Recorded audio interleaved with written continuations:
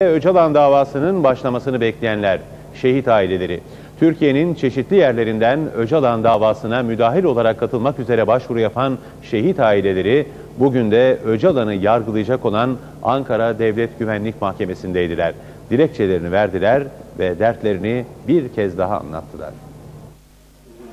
Abdullah Öcalan'ın yargılanması için savcılar kolları sıvadılar. Bir yandan iddianame hazırlanırken bir yandan da güvenlik önlemleri alınmaya çalışılıyor.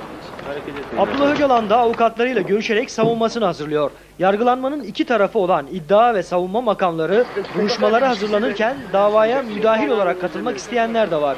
Bunlar şehit aileleri. Şehit aileleri davaya müdahil olabilmek için bugün dilekçeleriyle Ankara Adliyesi'ne geldiler. Yaklaşık 100 kişilik grubun başvuruları PKK karşıtı gösteriye dönüştü.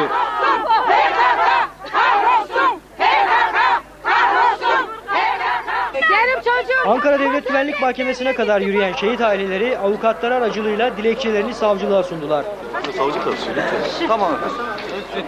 Şehit aileleri Öcalan'ın duruşmalarına müdahil olarak katılmak ve duruşmayı izlemek istiyorlar. Siz duruşmaya katılmak istiyor musunuz?